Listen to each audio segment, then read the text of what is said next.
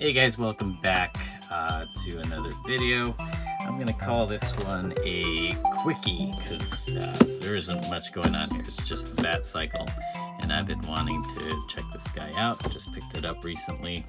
Uh, might be old news to you. It's new to me. I love the sculpt, and uh, I can't wait to check it out outside the box. So let's crack into it.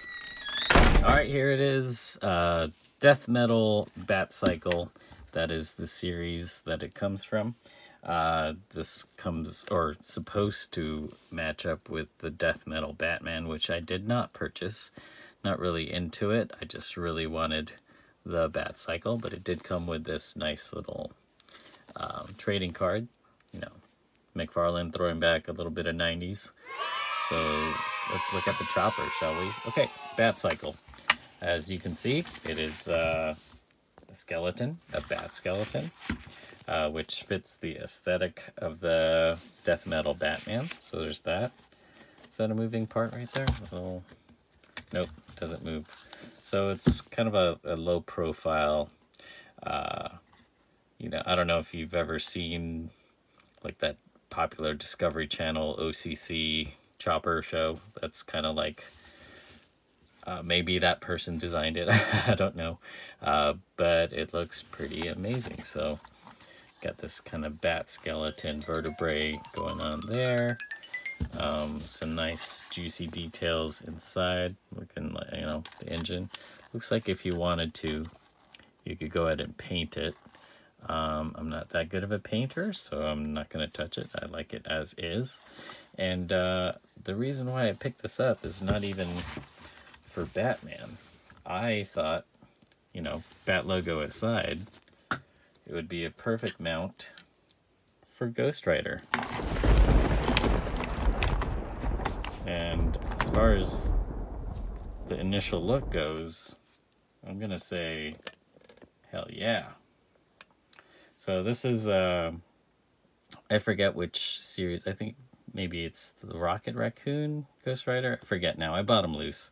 Uh, this is the skull that comes with uh, it's the alternate skull that comes with uh, the magic, the Walgreens exclusive magic. So, if you guys are wondering, so so far he looks awesome.